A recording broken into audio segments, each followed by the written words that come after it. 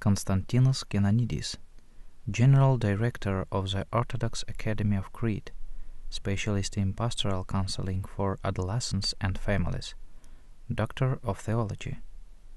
The first question is about your academy, Theological Academy of Crete. Can you tell us something about your academy and uh, about some specific of its work? The Orthodox Academy of Crete is um, a historical uh, foundation, uh, started his function uh, 40 years ago by the previous Metropolitan of Kissamos and Selinos Irenaeus. The Academy started in order to open church to society and theology to sciences. The Academy started the dialogue uh, to, from theology uh, to uh, sciences. Uh, until then, many uh, thousand conferences has been held in the Academy, and uh, the most famous World Association of Scientists, they come there because we're providing the ethical framework of sciences. And for example, CERN is coming, mm -hmm.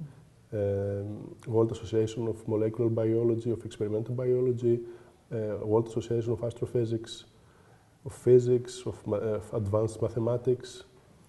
But also, Academy is uh, a place that uh, many uh, ecumenical events took places like um, Central Committee of KEK, uh, General Assembly of KEK. Uh, the two years ago was um, the uh, Faith and Order mm -hmm. General Assembly, and next year will be for the first time the Central Committee of WCC. So uh, the Academy is a place that uh, witness the, the Orthodox experience, the Orthodox spiritual life in all, all the world, in all domains. Uh, we have uh, an Institute of Theology and Ecology. We organize ourselves uh, international conferences every year, and we promote the um, approach that the Ecumenical Patriarch Bartholomew started about the environment a few years ago. Uh, and uh, this approach that the origin of ecological disaster, of ecological crisis is ethical, is more and more accepted by the international community. And we have experience of this, and we're happy to, uh, to give this uh, theological and ethical uh, dimension on, on environmental crisis. And uh, we have also an institute of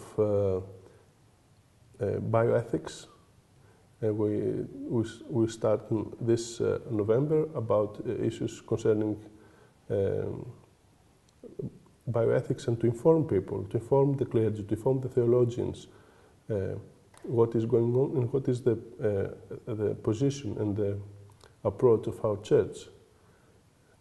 Also, we have um, a, pro a, program about uh, knowing better orthodoxy.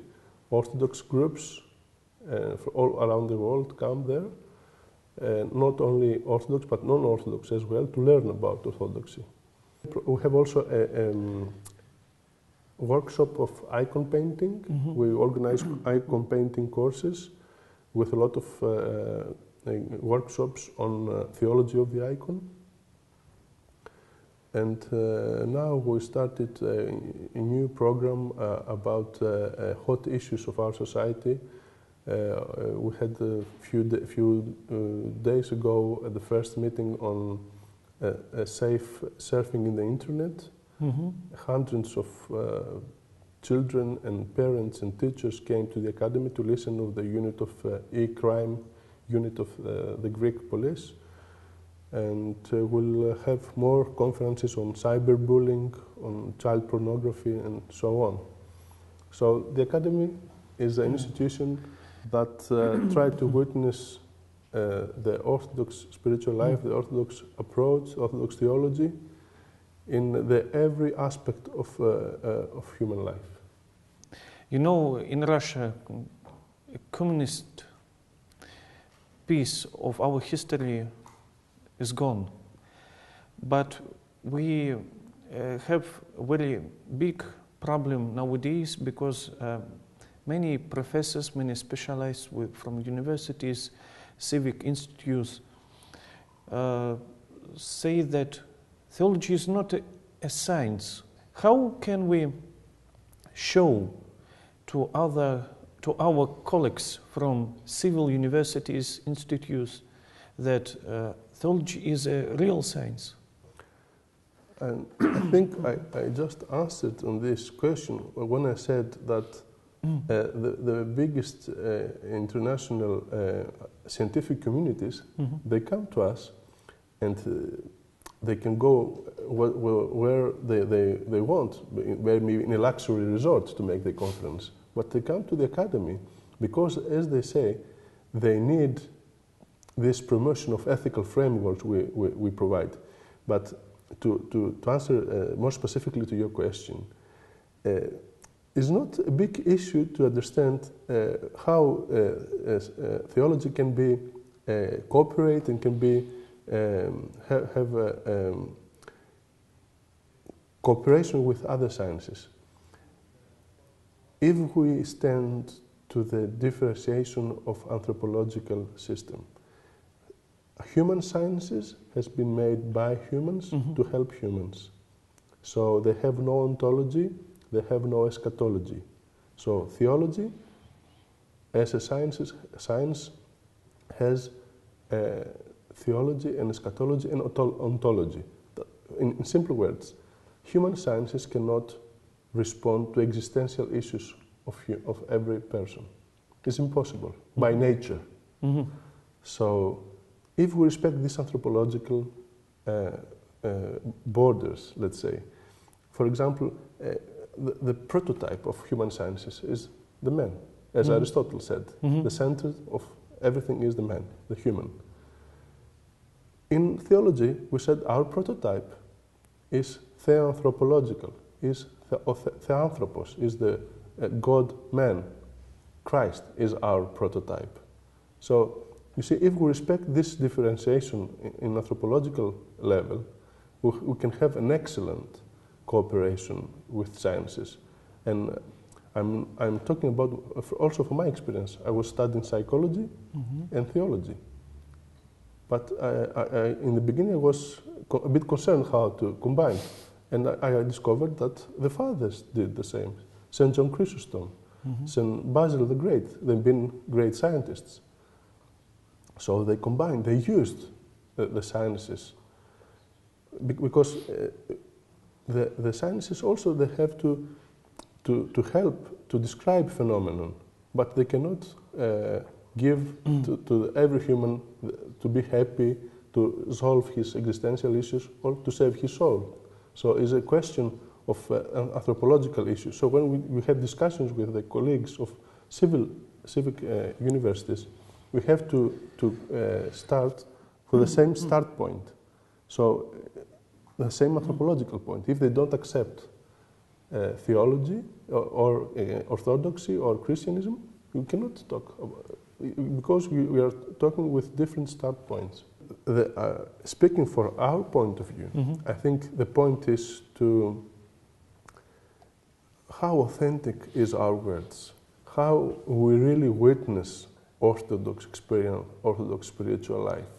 This is the point. Because if our words are simply human thinking and human um, uh, words with no uh, ontological uh, content, Mhm. So they are useless and they cannot convince anyone.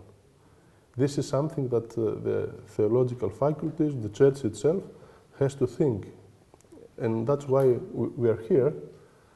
And uh, because we are concerned this uh, phenomenon of uh, secularization that is, is hidden in our churches, in our faculties, and we are becoming uh, Christianity, Orthodoxy, theology becoming, unfortunately, ideology.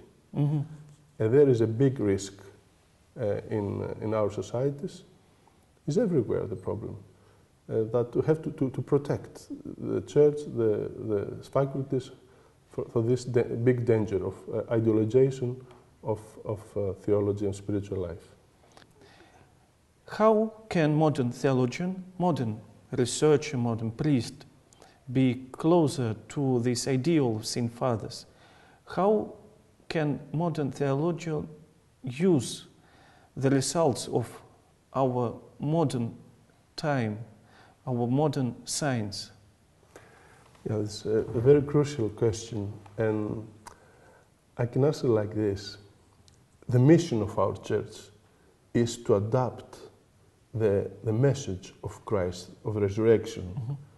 To adapt all this, um, how you say, this um, rich tradition Mm-hmm. of the fathers to everyday life. This is the mission.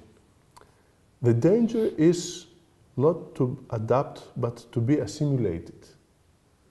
So, in order to, to not be assimilated, not to be secularized, we have to have specific, well structured, authentic spiritual criteria. So, it's no danger. So, the fathers did the same.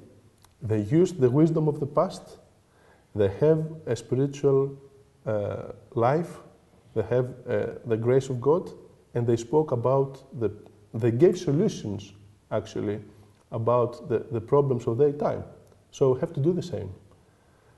So we have to, to look to the wisdom of the past, to take what is like the bees, as St. Basil said, and to take and to implant to, uh, and to give solutions in our uh, problems of our modern uh, uh, uh, life, every, modern society and everyday life.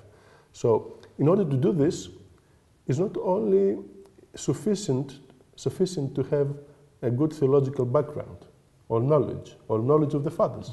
It's not useful. We, we have to have this knowledge, but we have to, to have also a spiritual life, a spiritual experience, a, a, faith, not religiosity, a faith, and, uh, and who, who can talk in our days in, in, in the middle of, of people, in the church, in the conference, a theologian, and say, What I'm saying is the will of God? Who can say this? The fathers did. They did say this. So it's not a problem. If we are not able to do this, St. Maximus the Confessor said, if you are not, possible, if not able to witness what is the God will, God's will in everyday life, it's not a problem. You close your mouth and you pray. So, I- what I want to say is that we have two currents in our societies. The first current is people, what in everyday life, they we face issues like, um, let's say, the use of the internet, like the artificial insemination. So, what is the church position on this? If you look into the fathers, you cannot find it. It's impossible. So, we have a current that says if it's not in the scriptures, not in the father text, it's not orthodox, it's demonic, it's, it's rejected. So, they are in denial. They're in denial, of, they're not able to do this adaptation, they're in denial. This is egoism. So, uh, so they cannot say, well, I'm not doing this, I cannot, I'm not able to do this, so I'm in silence. So uh, they demonize everything new. This is the one current. The other current is they say what is the position of the church, they say what everything comes to their mind, in, irresponsibly. So these two currents is same dangerous. So we, we call them sometimes fundamentalists because they go they are going back to their foundation. That's the, they call them fundamentalists because they cannot do this procedure to adapt the wisdom of the past to the everyday life. This is the mission of the church, the real mission of the church. And I'm talking like uh, being a professor of uh, pastoral counseling. So if we cannot do this, it's better to be silent. And uh, I think this is what people expected from us. Thank you. Thank you very much.